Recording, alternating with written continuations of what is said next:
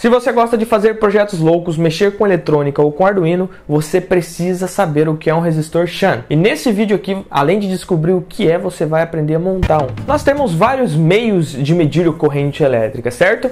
Esse daqui é um sensor que utiliza a indução gerada por um fio percorrido por corrente elétrica para gerar uma tensão de saída, que podemos ver será em torno de 1 volt quando por aqui dentro passar 50 amperes. Também temos este que utiliza o efeito Hall para nos dar também uma tensão de saída proporcional à corrente. Todos são muito bons e possuem relativa precisão. O problema é que às vezes eles são caros demais proporcionalmente ao projeto ou grandes demais ou não têm a precisão que você precisa, ou não geram ainda o sinal necessário que você precisa. Eles não conseguem captar esse sinal para te mostrar. A boa notícia é que podemos utilizar um simples resistor para poder medir corrente com precisão. Basicamente, nós vamos colocar um resistor em série com a carga, medir a tensão em cima desse resistor e já que nós sabemos a resistência desse resistor, nós utilizamos a lei de Ohm para obter a corrente. Aqui nós temos um exemplo. Todo resistor utilizado para medir corrente é conhecido como shunt, basicamente. Aqui nós temos um resistor de 0.1 ohms com 1% de precisão. Quanto mais preciso o seu resistor shunt, mais precisa sua leitura. Esse multímetro aqui vai mostrar tensão em cima do nosso resistor. E eu vou fazer passar por ele 100 mA. Como vocês podem ver, está sendo mostrado o valor de 100 mV aqui no multímetro né, que é idêntico ao valor da corrente. Isso acontece porque o valor do nosso resistor é de 1 ohm. Então 100 mA vezes 1 ohm, nós temos 100 mV. Vamos subir a corrente um pouquinho, 200 mA, 200 mV, vou aumentar um pouquinho mais. Isso é o que acontece quando você coloca quase 25 watts de potência em um resistor que aguenta só um quarto. Você pode comprar um resistor shunt de maior potência, né? Mas para que comprar se nós podemos fazer um usando um simples pedaço de fio. Todo fio, seja ele feito de cobre, alumínio, entre outros materiais, possui uma certa resistência. Resistência essa que depende do tipo de material, claro, do comprimento do fio e da seção nominal desse fio. Se você digitar no Google tabela de condutores ou AWG, que significa American Wire Gauge, né, que seria como se fosse um sistema americano de medidas de fio, né, de, de, espessura de fio, de bitola, você vai encontrar essas tabelas aí. Nessa tabela você encontra informações importantes, né, como por exemplo quantos ohms por metro ou por quilômetro tem seu fio, que nós vamos utilizar para fazer o nosso shunt resistor ou nosso resistor shunt. Para fazermos um resistor shunt com fio, nós precisamos manter a resistência dele bem baixa, para que a queda de tensão na carga seja baixa também. Né? Se você está alimentando o motor com 5 volts e coloca um shunt com resistência muito alta, vai chegar só 3 volts no seu motor. Então é importante fazer um resistor shunt com resistência bem baixa para que a queda de tensão na carga seja pequena. Nós vamos começar com 100 mV para cada 1 ampere. Esse fio aqui está escrito nele que ele tem seção nominal de 0,35 milímetros quadrados. Isso dá aí, de acordo com a nossa tabela, 22 AWG aproximadamente. E o nosso fio possui aí 0,053 ohms por metro e suporta até 6 amperes. Se eu quero que o meu shunt me forneça 100 mV a cada 1 ampere, segundo a lei de Ohm, eu vou precisar de um resistor que tem aproximadamente 0.1 ohms ou 100 miliohms. Sabendo que esse fio aqui tem 0.53 ohms por metro, eu vou precisar de aproximadamente 2 metros desse fio.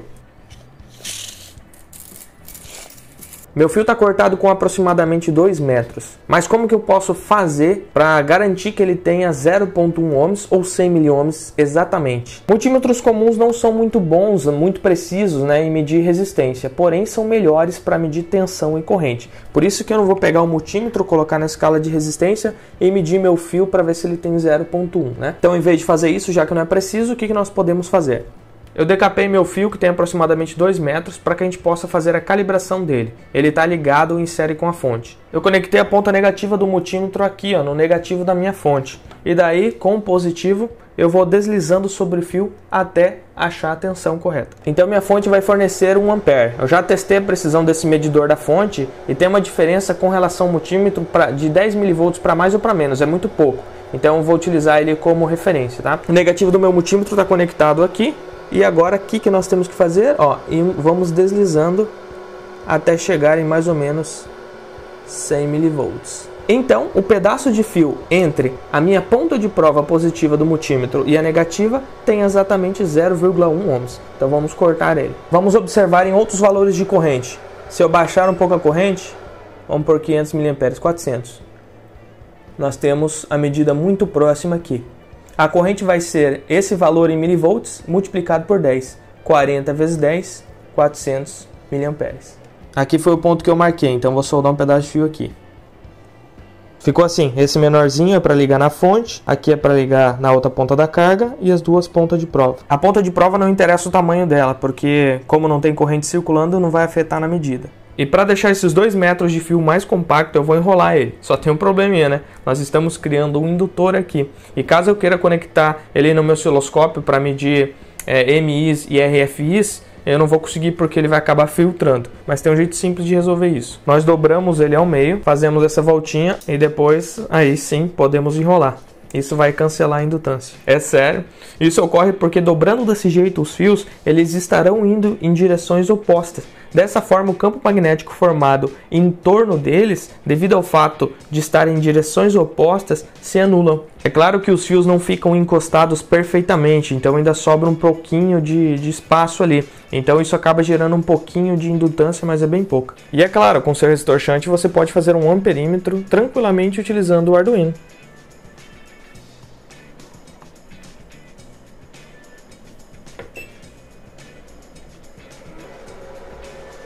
É claro que para correntes pequenas vocês não precisam utilizar um fio que nem nós utilizamos aqui. Um simples resistor de baixa potência resolve, mas o fio é para alta corrente ali. Como aqui, por exemplo, nesse projeto meu que abre a porta utilizando a digital. Do outro lado tem um leitor digital. Em vez de utilizar um trambolho como esse para medir a corrente gigante ou um sensor como esse que é pequeno, porém é mais caro, eu utilizei um simples resistor.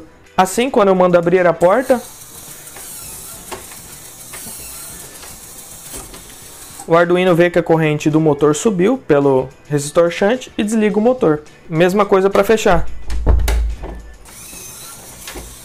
Quando o motor subir a corrente, que a chave chegou no fim de curso, ele desliga o motor. Esse resistor shunt aqui está projetado para cada 1 ampere que circula no fio me fornecer 100 mV. Eu quero projetar agora um resistor shunt para 5 amperes. Mas esse daqui já não funcionaria, porque esse fio aqui, segundo o que a gente viu na tabela, suporta até 6 amperes. Sim, mas, por exemplo, se eu jogasse 5 amperes em cima desse shunt resistor, agora o que iria acontecer? Ele ia me dar uma saída de 500 mV, ou seja, meio volts. E para fontes de pequena tensão, como por exemplo 3.3 ou 5 volts, nós vamos ter muita queda de tensão em cima do resistor, vai ter meio volt em cima dele. Então vai chegar, se for 5 volts, a tensão da fonte 4,5 para nossa carga e é muita energia dissipada. Então o que, que nós podemos fazer? Nós podemos fazer com que quando circule 5 amperes aqui, ele forneça 100 milivolts. Para isso nós teríamos que fazer é um resistor de 20 miliohms, porque esse é de 100, né? E para isso nós temos que cortar o fio em um quinto do tamanho aproximadamente. Então vamos fazer isso. Eu configurei minha fonte para 5 amperes para ver se realmente esse fio vai suportar aí 5 amperes, né? Diz que aguenta 6. Então eu vou ligar ele aqui, ó. Nesse momento passam 5 amperes por esse fio e eu vou ver se ele esquenta. Você pode utilizar partes do corpo mais sensíveis para detectar esse calor, né? Como por exemplo a boca. Não, não está esquentando nada. É importante verificar a temperatura porque ela não pode mudar.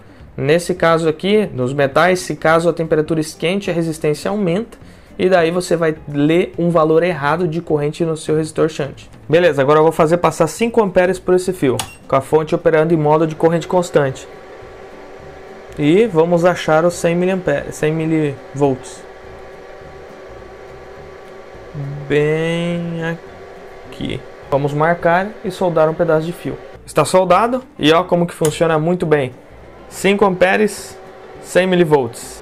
Vou baixando aqui, ó. 80 mV, como deveria ser. Olha só como ficou. Essas duas pontas aqui me fornecem 100 mA a cada 1 ampere. E se pegar essas duas aqui, nós temos 100 mA a cada 5 amperes. Você talvez possa estar se perguntando, mas Marno, para que, que eu vou fazer um resistor shunt se eu posso usar um alicate amperímetro ou um multímetro para medir corrente? Te dou aqui quatro motivos. O primeiro é que, conhecendo o conceito do resistor shunt, você pode implementar um amperímetro muito simples e barato no seu projeto para fazer diversas funções, né? Como, por exemplo, alguns módulos de vidro elétrico automotivo, que quando o vidro termina de subir tudo, você aperta o botão, mas o motor você não escuta o motor ligar, porque ele sentiu que a corrente do motor subiu, pois o vidro chegou no limite e não deixa mais você ligar. Isso também para quando o vidro desce. Ou em centrais de injeção eletrônicas automotivas, na qual existe um resistor shunt para detectar se o bico está consumindo corrente. Caso a bobina do bico esteja aberta, né, esteja rompida, ele não manda mais energia para aquele bico e informa o erro na central. Simples e barato. O segundo motivo é quando o valor que você precisa medir de corrente sai fora da escala do seu multímetro.